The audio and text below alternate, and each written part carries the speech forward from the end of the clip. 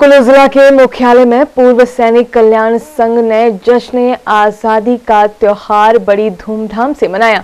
क्षेत्रीय अस्पताल के साथ पूर्व सैनिक कल्याण के परिसर में राष्ट्रीय ध्वज फहराकर शहीदों को नमन किया गया। इस मौके पर पूर्व सैनिक कल्याण संघ अध्यक्ष टी एस नेगी ने राष्ट्र ध्वज फहराकर सलामी दी। सबसे पहले तो मैं सभी हमारे पूर्व सैनिक और हमारे देशवासियों और कुल्लू के जो सारे हमारे वेटरन हैं और वीर नानियाँ हैं और बार वीडियोज़ हैं, सबको मैं पचहत्तरवीं जो हमारी स्वतंत्रता दिवस की उसमें बधाई देता हूँ और सबको मैं शुभकामनाएँ देता हूँ। आज हम जो है वो स्वतंत्रता दिवस मना रहे हैं। तो आज हम जो है सभी इकट्ठे होकर के हमारे जो जो स्वतंत्रता सेनानी हैं, उनको हम नमन करते हैं, उनको याद करते हैं और उनको हम भावभीनी अपने दिल से जो है वो उनको श्रद्धांजलि देते हैं। उनकी वजह से जो है वो हमारा देश जो है वो आज़ाद हुआ है और अभी हमारा कर्तव्य है कि हम अपने आज़ादी को और इसको हम मेंटेन रखें। और यही हमारा सबसे बड़ा कर्तव्य है। और हमारा, हम जो है अच्छे जब वो शहरी बने तो उस वक्त जब हमारा देश आज़ाद हुआ है, उस वक्त हमारी पूरी आबादी जो है पाकिस्तान को मिलाकर भी तैतीस करोड़ थी। आज जो हमारी सिर्फ़ भारतवर्ष की आबादी जो है, वो एक सौ पैंतीस करोड़ हो गई है।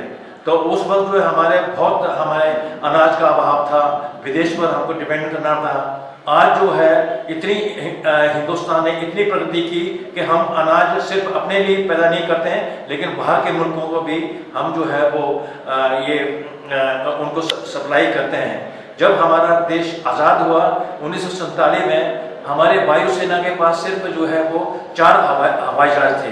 आज जो है, हमारे पास जो है, वो हज़ारों की संख्या में हमारे जो है हवाई जहाज़ हैं, लड़ाकू विमान हैं, नेवी में हैं एयरफोर्स में है और आर्मी में हमने इतनी बड़ी तरक्की की है।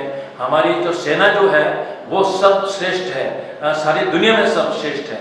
आज जो है जो हमारी वायुसेना है, स्थल सेना है और नेवी की सेना है, वो अपनी सीमाओं पर भारतवर्ष की सीमाओं को जो है, वो वहाँ पर पहरा दे रहे हैं। उसकी वजह से हमारे हिंदुस्तानी जो है, हम जो है, वो सुख की नींद सो रहे हैं। कहते हैं कि if you want peace be prepare for the war अगर हम स्ट्रांग हुए तो कोई भी दुश्मन जो है हम हमको टेढ़ी नज़र से नहीं देखेगा और देश में अमन होगा और देश में अमन होगा तो इसी से जो हमारी जो है वो प्रोग्रेस होगी हमारी उन्नति होगी। आज जो हम दे, देख रहे हैं कि हमने कितनी उन्नति की है।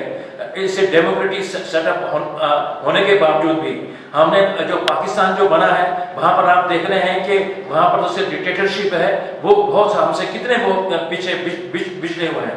ये हमारी जो है यूनिटी इन डाइवर्सिटी का एक बहुत एक बड़ा उदाहरण है। तो हम सभी देशवासी हम बड़ा फील कर रहे हैं कि हम देश के लिए जो है वो कुर्बानी देने के लिए हम तैयार हैं। तो हम यहाँ पर जो है हम सारे एक्स सर्विसमैन जो है मिल करके जो सिपाही से लेकर के जनरल तक जो है, सभी मिल करके हम आपस में भाईचारा का वो हम सबूत देते हैं।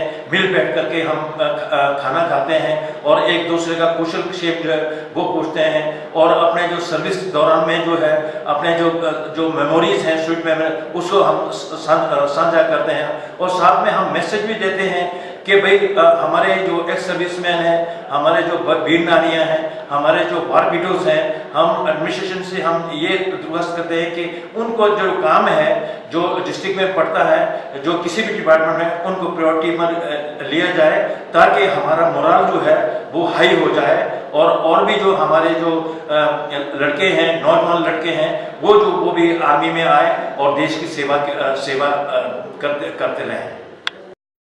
सिटी चैनल के लिए कुल्लू से दिलीप ठाकुर की रिपोर्ट।